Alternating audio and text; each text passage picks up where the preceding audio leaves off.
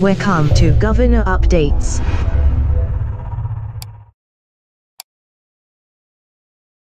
Hello, guys. Welcome to Governor TV YouTube. If you have not subscribed yet, just subscribe to the Governor TV YouTube channel.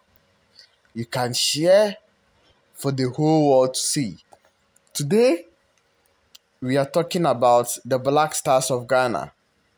And the reports emerging is that Tariq Lamptey, the Brighton and Hove Albion right back, who has played for England under 17 under 20, has decided to switch his nationality to play for the Black Stars of Ghana. This is the guy on your screen, the one in white.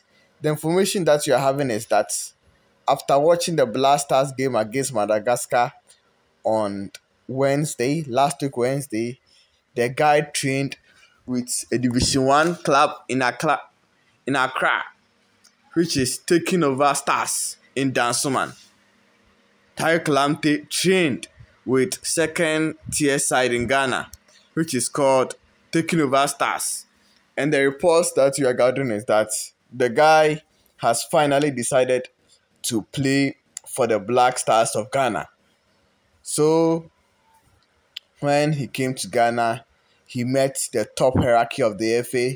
They discussed the way forward, and the information that you're having is that in the rest of the qualifiers for the Black Stars, the guy will uh, like will be available and he'll be integral member of the Black Star team. So that's the guy on your screen, Tariq Lamptey. So yes, another guy. He's a centre back for Southampton.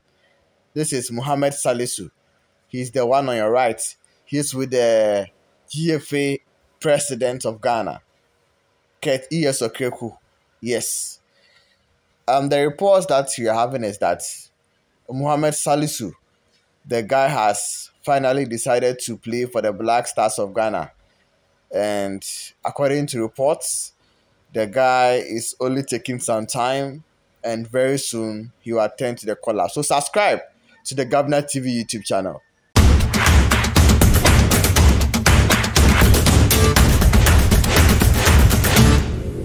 Welcome to Governor Updates.